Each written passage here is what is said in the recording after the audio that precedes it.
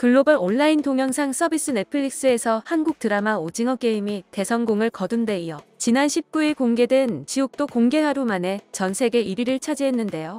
오징어 게임이 독특한 미술과 해외에서는 신선할 법한 게임 방식 등으로 시선을 사로잡았다면 지옥은 초자연적인 현상을 바탕으로 지옥의 사자, 지옥행, 종교 등 뚜렷한 소재가 공감을 높였으며 독보적인 존재감을 보여주는 배우들이 대거 출연하며 흥미를 이끌었습니다.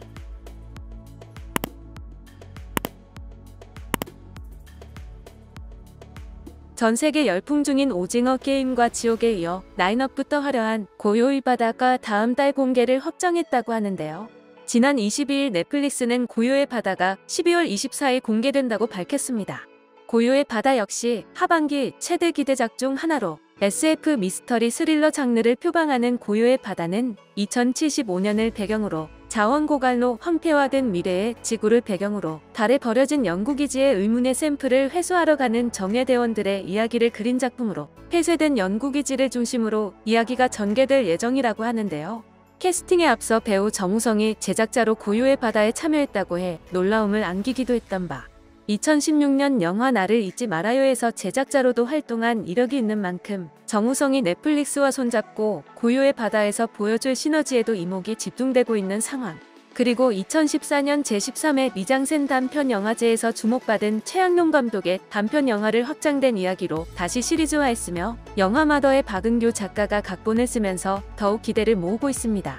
거기에 배우 배두나, 공유, 이준, 이무생, 김선영 등 연기파 배우들이 대거 출연한다는 소식에 많은 관심을 끌고 있는 바. 넷플릭스 오리지널 시리즈 킹덤, 드라마 비밀의 숲 시리즈에 출연하며 큰 인기를 끈 배두나가 우주생물학자 송지안 박사를 연기하며 드라마 풍문으로 들었소, 아버지가 이상해, 영화 럭키 등에 출연하며 탄탄한 필모를 쌓고 있는 이준이 수석 엔지니어 류태석 대위로 분했는데요. 특히 공유가 2016년 드라마 도깨비 이후 5년 만에 고요의 바다를 통해 드라마로 복귀한다고 해 관심이 더욱 쏠리고 있는 상황. 2001년 학교4로 대중에게 눈도장을 찍은 공유는 지난 2007년 드라마 커피 프린스 1호점으로 스타덤에 올랐는데요. 2009년 그가 군 제대 후 찍은 영화 도가니로 그간의 로맨스 이미지를 벗고 충무로 연기파 배우로의 분기점을 마련했으며 이후 2016년 영화 부산행, 밀정, 2019년 82년생 김지영 등을 통해 흥행 배우 반열에 올랐습니다. 그리고 공유의 정점은 2016년 TVN 드라마 독대비를 통해서였는데요. 그는 도깨비에서 김신 역을 통해 큰 인기를 얻었습니다. 이렇듯 작품마다 캐릭터에 완벽히 녹아들며 많은 사랑을 받고 있는 공유는 고유의 바다에서 제한된 정보에 의존해 막중한 임무를 이끄는 탐사 대장 한윤재로 분한다고 하는데요. 한윤재는 대원들의 안전을 최우선으로 생각하며 자기 희생도 마다하지 않는 인물로 과거의 사고보다는 샘플 회수 임무를 우선시하는 탓에 송지한 박사와 부딪히게 된다고 해 배두나와의 케미도 기대를 모으고 있습니다.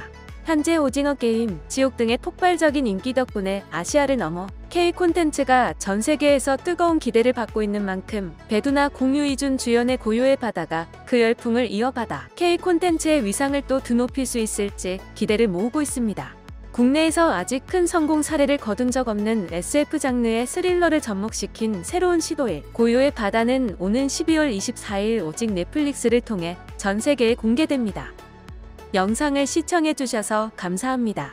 여러분의 좋아요와 구독은 큰 힘이 됩니다. 지금까지 뉴스킹이었습니다.